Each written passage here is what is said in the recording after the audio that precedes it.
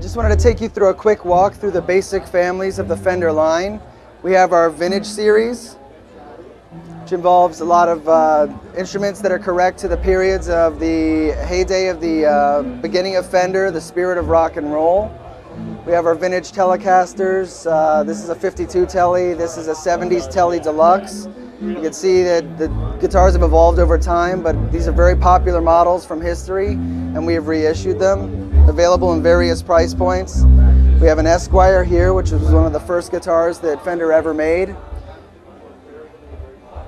And then you get into more our more iconic uh, Stratocasters, 57 Strats, 50 Strats, 60 Strats with the rosewood necks. And then some of our later models like the Mustang. We also have available, uh, but not displayed, Jaguars, Jazzmasters, and some of the other models we came up with in the 60s.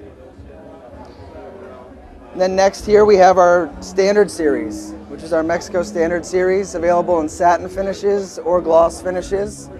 Strats, Teles, P basses, and J basses, available single coils or with humbuckers. Next up from the Standard Series would be the Highway 1 series, which we discussed. There's an upgrade to the tone circuit. These are also available. These are made in our Corona facility, and they have lacquer finishes, and uh, they're made in our American facility. Uh, they're the next step up from the Mexico Standard Series before the American Series. The American Series is the benchmark Fender guitar uh, that everybody aspires to own. They're available in a multitude of configurations, as you can see here. Humbuckers, single uh, humbucker with two single coils, three single coils. Also with S1 switching, which we introduced a couple years ago, which allows for even more tonal configurations within one of some of the more traditional uh, pickup configurations. After the American series, we have the American Deluxe series. The American Deluxe series just involves a lot of um, higher end cosmetics and also uh, innovative pickup designs. Like we use samarium cobalt noiseless technology on these guitars, so they don't uh, have the typical single coil 60 cycle hum.